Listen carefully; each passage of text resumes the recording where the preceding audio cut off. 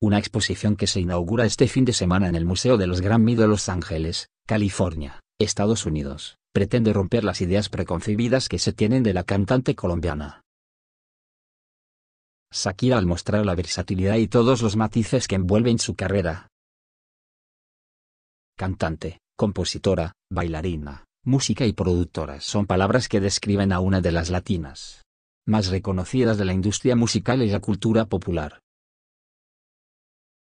Organizada en cuatro salas, la exposición recorre distintas facetas de la carrera de la cantante y acerca al público. De la autora de antología a 55 objetos icónicos. Que Shakira usó en momentos clave de su carrera. Entre ellos, los dos trajes que portó en el Super Bowl de 2020. La guitarra rosa repleta de cristales que tocó durante su gira de fijación oral en 2007, uno de sus cuadernos con canciones escritas a mano.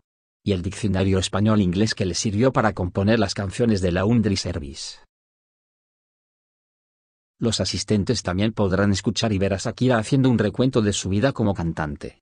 Los retos que enfrentó como latina en la industria y anécdotas curiosas por las que ha atravesado en sus más de 30 años de experiencia musical.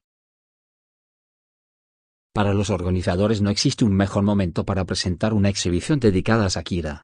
Después del despunte que ha tomado su carrera en los últimos meses con la presentación de temas como Te felicito con Raúl Alejandro, Monotonía al lado de Ozuna y la muy reciente Te Cuje junto a Carol G.